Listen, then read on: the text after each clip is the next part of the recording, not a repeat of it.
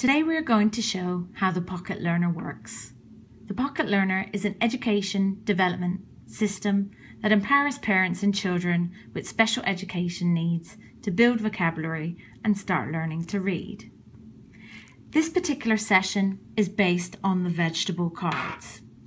There are a number of cards available, but this particular pack is focused on the vegetable vocabulary. The first step to show is show the picture to the child. So for example, what's this? It's onions. It's onions. What's this? It's onions. If the child can speak, he or she should say the word or they can sign.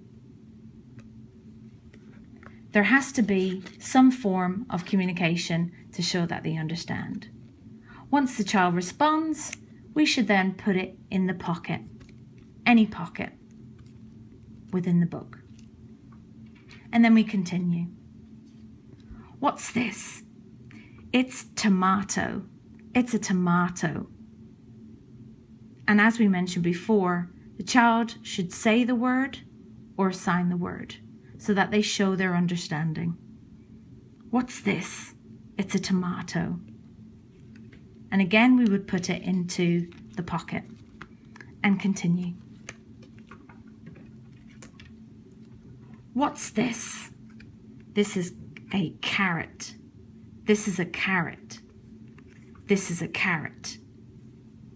And so on and so forth. What a great way to build and develop your child's educational needs.